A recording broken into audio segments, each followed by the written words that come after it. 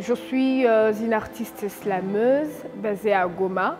Euh, J'effectue mon slam dans le domaine de paix, de la cohabitation au Pacifique et des droits humains. J'ai une initiative que j'appelle le Slam Nabarabara.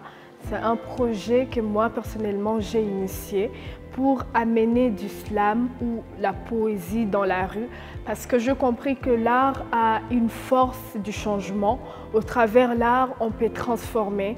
Au travers l'art, on peut atteindre une grande masse de la population et on peut les sensibiliser surtout sur la paix et surtout que la région dans laquelle nous évoluons, la région de Grand Lac, a besoin de la paix, de la cohabitation pacifique et le respect des droits de l'homme. C'est pourquoi moi, je me suis dit, avec le talent que j'ai, avec le don que j'ai, je peux le mettre au profit de ma communauté, je peux le mettre au profit de la région de Grand Lac. C'est pourquoi au travers l'islam la barabara qui, l'islam la barabara qui est en français, le slam dans la rue, je parle, je slam dans le rue, dans le marché et je parle de la paix euh, aux communautés et aux populations euh, euh, avec lesquelles je suis en contact. En soi, le Youth Lab a été pour moi vraiment un véritable laboratoire, comme on dit Youth Laboratory. Ça a été vraiment un véritable laboratoire. Pourquoi?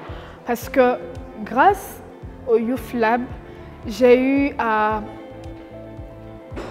avoir des connaissances dans la pensée critique, bien que j'en avais, mais ce n'était pas en tout cas profond. Mais grâce à YouFlab, j'en ai euh, eu beaucoup de connaissances là-dessus, dans le management, dans la conception de projets. YouFlab nous a permis de concevoir de projets, nous étant que de jeunes, et il nous, ont, euh, il nous a donné cette possibilité de les mettre en place. C'est-à-dire on a conçu nos propres projets et nous-mêmes nous allons travailler pour ces projets et voir si ces projets vont nous aider à contribuer à, cette vision de, de, la cohabitation pacifique et de la promotion de la paix euh, dans la région de Grand Lac et surtout dans nos communautés respectives. En fait, je dirais que YouFlab, ce n'est pas simplement un laboratoire, mais c'est une famille. C'est une famille qui ne tient pas compte de,